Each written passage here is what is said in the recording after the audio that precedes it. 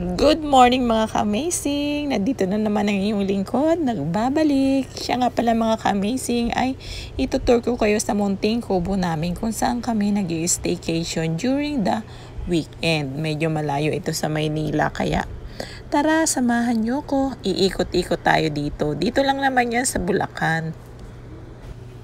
Kanina nga pala mga ka-amazing ay ang dami-dami naming nilinis kasi medyo matagal din uli kami bago nakabalik dito kasi may mga inaasikaso nga kami sa Maynila.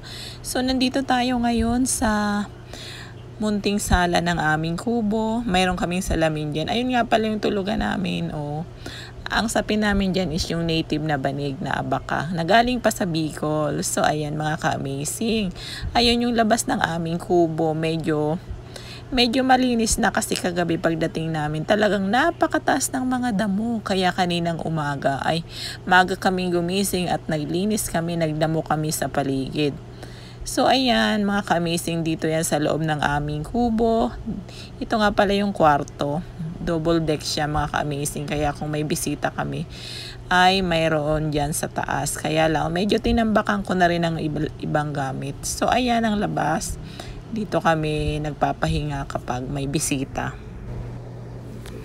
So ayan, napaka-presko talaga dito mga ka-amazing kaya kung may time ay talagang pumupunta kami dito during the weekend kapag wala namang pasok. So ayan yun. Ayan, ito nga pala yung labas ng aming kubo. Oh. Makikita nyo siya. Maliit lang siya mga ka-amazing pero maraming nagkakasya in fairness kapag may bisita kami. So, nandito ako naglalakad-lakad. Tinitingnan ko kasi yung mga natanggal kong damo. Ayan, medyo okay-okay naman na. Ah. So, dito may mga tanim rin kaming papaya. Medyo tumubo na nga siya at medyo namumulaklak na. May saging din kami. Meron na rin siyang puso at malapit na uling mamunga. So, ayan, marami dito ka-amazing mga pananim. Yan, yan nga pala yung papaya namin. Mayroon kaming mga halaman. Ayun, may ubas kami dyan. Pinagpuputol na nga namin yung aming mga sitaw at talong kasi medyo na dry na. Kasi nga, hindi namin siya napuntahan ng ilang buwan kaya medyo nagkanda matay na. Kaya pinutol na namin yung puno. So ito yung mga papaya namin. So hopefully magtuloy-tuloy. Meron din kaming ano yun? Yung citronella, pang ano yun ng lamok, alam ko. Yan, may ubas din kami mga ka-amazing. May sampalok. Yan, kaya dito nakaka-enjoy talaga.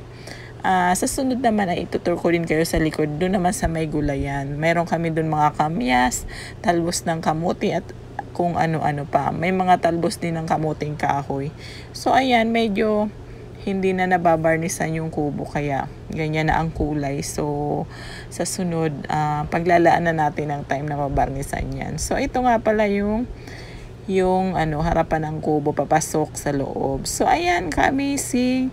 Sana nag-enjoy kayo sa panonood dito. Napaka-presko talaga dito kaya talagang ano, pabalik-balik kami dito. So ayan, kung makikita nyo yung mga bamboo na ginamit dito is talagang dinodouble wall nila. Napaka-presko niyan. Meron nga pala kami ditong banga. Ito yung sinaunang banga guys. So ayan yung bamboo. Ibinalik ko na naman sa labas kasi talagang na-amaze ako dito sa bamboo na ginawa nila. So ayan medyo papasok na tayo. Amazing. Ito yung pintuan. Meron kami diyang ano. Meron kami diyang wall. Hindi. Wall na ano. Wall clock. And then yung ating ano ba yun? Yung galing pa sa Thailand na frame. So, ayan mga ka-amazing, medyo nabubulol-bulol na ako. Ayun yung labas namin, no, kung makikita nyo. Ayan, ayan sa likod namin. Maraming gulay dyan sa likod, saka ko na kayo